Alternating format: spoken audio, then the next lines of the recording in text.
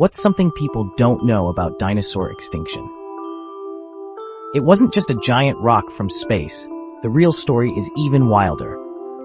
66 million years ago, Earth was a dinosaur paradise until disaster struck. The most famous theory? A massive asteroid smashed into what's now Mexico, creating firestorms and a global dust cloud. It blocked sunlight, cooled the planet, and crashed the food chain. But wait, there's more. At the same time, supervolcanoes in India, called the Deccan Traps, were erupting for thousands of years. They pumped out toxic gases, acid rain, and even more climate chaos. So, was it the asteroid, the volcanoes, or both? Scientists say these disasters teamed up, transforming Earth overnight. Dinosaurs couldn't adapt fast enough, but mammals, our tiny ancestors, survived in the shadows.